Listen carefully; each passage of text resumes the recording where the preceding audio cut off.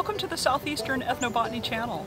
We're here in the Cherokee Worldview Garden and we're going to talk a little bit about yellow root today.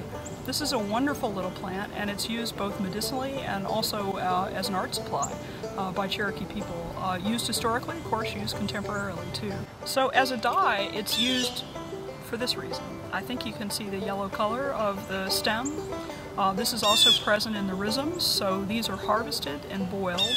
And then white oak splits or river cane splits uh, or perhaps honeysuckle splits are boiled in this and it actually dyes these so that basket makers can create patterns in their baskets using this particular color. Uh, medicinally, um, the same particular color indicates the presence of berberine.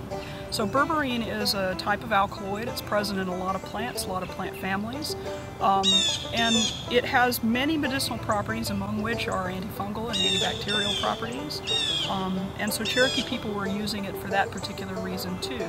Sometimes they would incorporate it as part of um, uh, spiritual celebrations uh, based around particular uh, celebrations, seasonal celebrations like the green corn ceremony, uh, but it was also used uh, more often than that, particularly if you had something like a mucous membrane infection in your mouth or uh, perhaps an eye infection or a cut on the hand.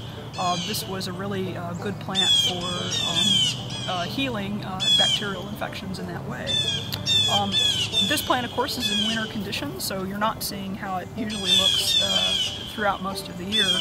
Um, the leaves are beginning to die down, but it's a really gorgeous plant. Now, its native habitat is along stream beds and riversides, um, and you can find this distributed throughout the southeast in various locations. It's, it's also an early spring bloomer, so very, very early on in the spring, say March or so, maybe latter part of February, you'll see purple flowers emerge from the tips of these stems. And the, the flowers emerge and bloom before the leaves ever come on in this plant, and so it's quite a lovely plant to, to view, and it's really happy in, in landscapes too, in home landscapes. So if you wanted to maybe grow some of this for yourself um, in your home landscape, you could. It's an easy plant to grow.